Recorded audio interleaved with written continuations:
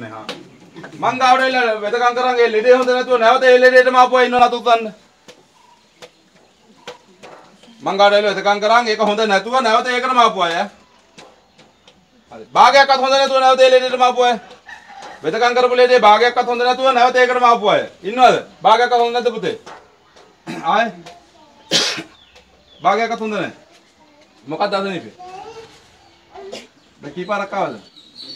අද දෙවෙනි පාර. පොඩ්ඩක්වත් හොඳ නැද්ද? දැනෙන්න පොඩ්ඩක්වත් නෑ. අද කරන් බලන්නකෝ. ඔයාගේ තාත්තා හොඳුන් නැද්ද?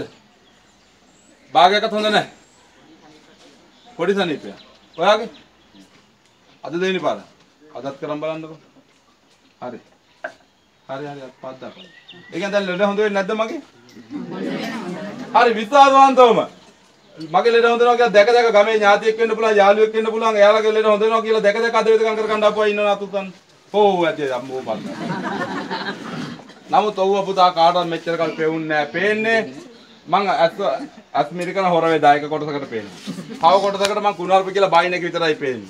මෙච්චර මේ ලෙඩු කඳක් අද හිතන්නේ අවුරුදු 4 ලක්ෂ කීයක් හොඳ වෙලා ඇද්ද උඹලා හිතන්නේ? ලක්ෂ 15කට යා හොඳ වෙලා ඉන්නවා පුතා. ඒකනේ බැලුම් ගල ඇවිල්ලා දාදි බැරුව ගියේ.